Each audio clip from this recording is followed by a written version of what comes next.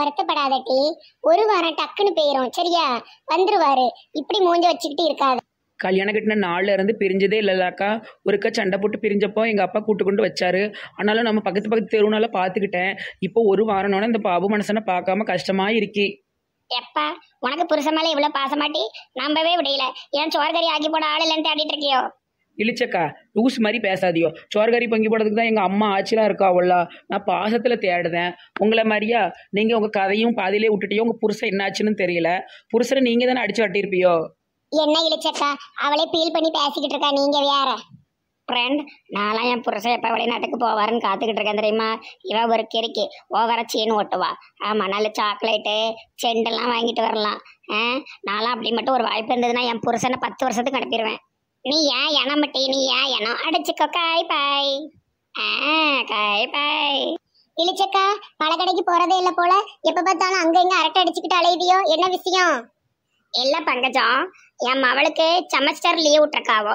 வீட்டில் தானே கிடக்கா. அதனால அவளை போய் பழக்கடையில் உட்கார வச்சுப்புட்டேன் நமக்கு ஆயிரம் சோழி இருக்கும். நமக்கு அங்கங்கன்னு சுத்திக்கிட்டே இருக்கணும். ஒரு இடத்துல உட்காராதம்மா நம்ம டிக்கலாம். ஆமா ஆமா. அதான் முறைய பார்த்தாலே தெரியுது. ஒரு இடத்துல உட்கார்ற ஆளா? ராணியக்கா எங்க? இன்னைக்கு ஆளையே காணும். அந்த அக்கா எப்பயாவது தானே வருது போகுது. இன்னைக்கு என்னன்னு தெரியல. இவ விமலாவும் லட்சுமியும் ஊருக்கு எங்கேயோ ஒரு ரெண்டு மூணு நாள் லீவுக்கு போயிட்டு வரேன்னு சொன்னாலுவோ மாமியார் வீட்டுக்கு போற அளவுல என்னன்னு தெரியல. இந்த உமா உமான்னு ஒருத்தி குந்தாணி மாதிரி வருவாளா? அவ எங்க? ஏன் இழிச்சக்கா என்ன இப்படி பேசுதியோ? குந்தாணி குந்தாணின்ட்டு. நீங்க மட்டும் நல்லா தின்னு தின்னு பெருத்து பேரிக்க மாதிரி தானே இருக்கியோ? அது எப்படி பங்கச்சா? யார சொன்னாலும் உனக்கு கோபமா வருதே.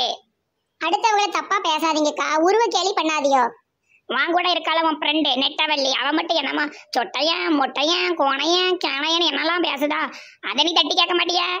இதுகிட்ட பேசுறதே வேஸ்ட் டி. ஏதாவது உளறிக்கிட்டே இருக்கும். சரி டி உங்க அம்மா என்ன குழம்பு வச்சா இன்னைக்கு எண்ணத்தை வச்சாவோ? சாம்பார் புளிக்குழம்பு ரசம் இதுதான் மூணு நாளாக மாற்றி மாற்றி வச்சுட்டு கிடக்காவோ? அதுலேயும் ஏதாவது ஒரு குழம்பு மிஞ்சிடுனா ஃப்ரிட்ஜில் எடுத்து வச்சு அடுத்த நாள் அதையும் சேர்த்து சூடு பண்ணி எல்லாத்தையும் ஒன்றா போட்டு கலந்து கொடுக்காவோ? வாயிலேயே வைக்க முடியல. ஆனால் கொடூரமான குழம்புகளாக இருக்குது நான் சொன்னம்லாட்டி நான் சொன்னம்ல இவ சாப்பாட்டுக்கு வதாட்டி புருஷனை தேடுவா. ஆத்தே மேலெல்லாம் உட்கார்ந்துருக்கு இவ்வளவு நேரமும் இந்த அக்கா. எக்கா இறங்குங்கக்கா. முதுகு கிதுக்கு ஒடிஞ்சிட போகுது பியாதியில போறவ பியாதியில புடுங்கி போனோம் இவளுக்கு. என்ன பாடுபடுத்துறா? எப்பவுமே இந்த மரத்துக்கு கீழே பங்கஜம் தான் உட்காந்துருப்பா இன்னைக்கு மொத ஆளா வந்து இடம் பிடிச்சேன். என் முதுகுலயே யாரிட்டாலே சண்டாளி சிரிக்கி. ராணி அக்கா என்ன இது? என்ன வேலை? மேல இருந்து இத்தான் நண்டிக்கு குதிக்கலாம் அந்த அக்கா முதுகு என்னத்துக்கு ஆகும்? எனக்கு இவன் மூஞ்சி பிடிக்கல. ஆமா இவ பெரிய ஐஸ்வர்யா ராயி. வா மோரைய மனசம் பார்க்க மாட்டான். ஏன் மோர பிடிக்கலையா இருட்டி எங்க கடை பழ ஜூஸாலே உன்னை ஒரு நாள் ஊத்தி வாயில ஊத்தி கொள்ளுவேன். உன் கடைக்கு யாரு வர போறா? ஆனாலும் ராணியக்காளுக்கு ரொம்ப தான் சேட்டை. இப்படியா மேலே குதிக்கிறது குரங்கு கணக்கா? ஒருவேளை குரங்கா இருக்குமோ? நாங்க வேற மாதிரி வேற மாதிரி வேற மாதிரி நாங்க வேற மாதிரி வேற மாதிரி வேற மாதிரி என்ன ஃப்ரெண்ட் இந்த ராணி இப்படி கோட்டி மாதிரி பண்ணிட்டு இருக்கா இவ்வளவு ஒரு வழி பண்ணு ஃப்ரெண்ட் என்ன நீ இப்படி மௌனம் காத்துக்கிட்டு இருக்க? மௌனம் சம்மதத்துக்கு அறிகுறி. ஒரு வழி பண்ணாமல் விட மாட்டேன். ஏக்கா ஒன்று யாராயிட்டு வாங்க வீட்டுக்கு போவோம்க்கா. எந்த மரத்துல இருந்து யார் வந்து மேலே உழுவாவோனே தெரில பயமா இருக்கு. போவோமா? ஆமாட்டி நீ சொல்றது சரிதான். இப்படி வா கிளம்புவோம். ரத்தத்தின் ரத்தமே என் இனியவுடன் பிறப்பே. சொந்தத்தின் சொந்தமே நான் உயிர்க்கும் உயிர் துடிப்பே. என்ன மீனாட்சி? சந்தோஷமா இருக்கிறது போல தெரியுது. என்ன ஆச்சு? ஆமாங்க. எங்கள் அக்காவை பார்த்தது எனக்கு ரொம்ப ரொம்ப சந்தோஷமா இருக்குங்க. ஆனாலும் மனசுக்குள்ளே ரொம்ப வருத்தம். இத்தனை வருஷமா நம்ம இப்படி பேசாமல் இருந்துட்டோமே. சி எவ்வளோ ஒரு கேவலமான பிறவியாக இருந்திருக்கேன். அம்மா அப்பா தான் வயசானவங்க. கொஞ்ச நாள் கழிச்சு நான் அதை தேடி இருக்கணுங்க. இருபத்தஞ்சி வருஷங்கிறது என்ன சும்மா வாங்க ஏய் அப்பா கால் நூற்றாண்டு. மீனாட்சி சில விஷயங்களை கடவுள் எழுதியிருப்பாரு. இப்படி இப்படிதான் நடக்கணும்னு. நம்ம கையில எதுவுமே இல்ல. வேகமாவும் ஓடி போச்சு இருபத்தஞ்சு வருஷம். சரி இப்பதான் உங்க அக்கால பாத்துட்டலாம் இனி அடிக்கடி போய் பார்ப்போம். முடிஞ்சா நம்ம ஊர்லயே ஒரு வீடு பார்த்து வச்சிருவோம். ரேகாலும் நம்ம விஜய் ஆபீஸ்ல தானே வேலை பார்க்கா. இங்க இருந்து போனா தானே அவளுக்கு ஈஸியா இருக்கும். வார வாரம் தானே அவ அம்மா அப்பா போய் பார்க்க போயிட்டாரா? ஆமாங்க நானும் அதாங்க யோசிச்சுட்டு இருந்தேன். நம்ம வீட்டுக்கு பின்னாடி ஒரு வீடு இருக்கலாங்க அதை கொஞ்சம் வேலை பார்த்து கொடுத்து அவங்களுக்கு கொடுத்தோம்னா கொஞ்சம் நல்லா இருக்கும்லாங்க. அப்படிலாம் மனசுல யோசிச்சு வச்சிருக்கேங்க.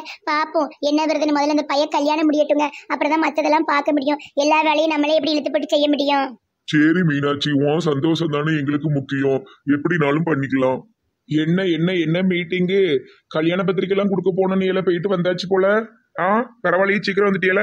தம்பி உன்கிட்ட ஒரு முக்கியமான விஷயம் சொல்லணும். சரி இன்னைக்கு ரேகா ஆபீஸ்க்கு வந்திருக்க மாட்டாளா? ஆமாம்மா உங்களுக்கு எப்படி தெரியும்?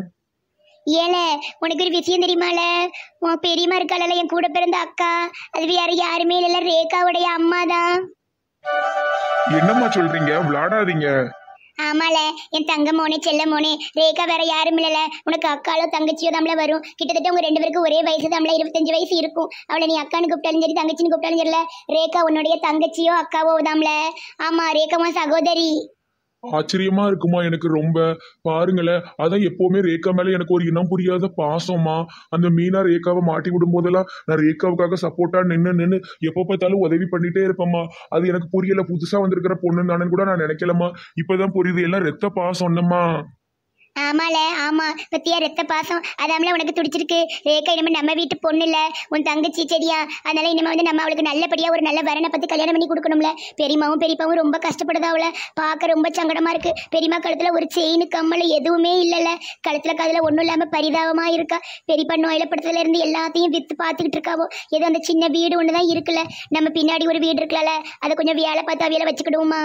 சரிம்மா சரி. நம்மளை விட்டு அவங்களுக்கு யாருமா இருக்காவோ? நம்மளே பார்த்துக்கிடுவோமா அப்போ இந்த கல்யாண வேலைலாம் கொஞ்சம் நடக்கட்டுமா அந்த வீடை கொஞ்சம் ரிப்பேர் பார்த்து அவங்கள உட்கார வச்சிருவோமா அந்த வீட்டில் நம்ம கூட இருக்கட்டுமா பாவம். ஆமால ஆமா. அப்பாவும் அதான் சொன்னாவோல. கல்யாண வேலைலாம் கொஞ்சம் நடக்கட்டும்ல. அதுக்கப்புறமா அவங்கள நம்ம இங்கே கூப்பிடுவோம். கல்யாணத்துக்கு வருவாவுல வீட்டுக்கு. அப்ப அப்படியே இங்கே இருக்க வச்சிருவோம் சரியா? ஏம்மா நமக்கும் யாருமே இல்லை நான் உங்ககிட்ட சொல்லிட்டே இருப்பேன் தெரியுமா? ஏம்மா எனக்கு அப்புறம் ஒரு தம்பியோ தங்கச்சியோ இல்லைன்னு? ஆனா பாருங்களேன் இப்போ நமக்கு ரேகா கிடைச்சிருக்கா. கேட்கவே இவ்வளவு சந்தோஷமா இருக்கலாமா? இப்போ நம்ம மூணு பேர் தனியா இல்ல ஆறு பேர் இருக்கோமா? ஆமாப்பா விஜய் இனி நம்ம எல்லாரும் சந்தோஷமா இருக்கலாம் சரியா? சரிப்பா. யார் என்ன சொன்னாலும் யார் என்ன செய்தாலும் சொந்தமும் பந்தமும் கூட வரும். விஜய் உங்க அம்மா கரெக்டான நேரத்துக்கு பாட்டு பாடுதா பாரு ஆமாப்பா ஆமா. என்ன பங்கஜம்? பாய்க்கு விரிக்காம அப்படியே படுத்திருக்க. ரொம்ப வியாக்குங்க. ஒரே புழுக்கமா இருக்கு. இதுதான் நல்ல குளிர்ந்தாப்புல இருக்கு. இப்படியே இருக்கட்டும். ஓ! ஏமோ பேனை மறைக்காம கொஞ்சம் தள்ளி நில்லுங்கம்மா. ஓ ஓன்னு கத்தாதியோ.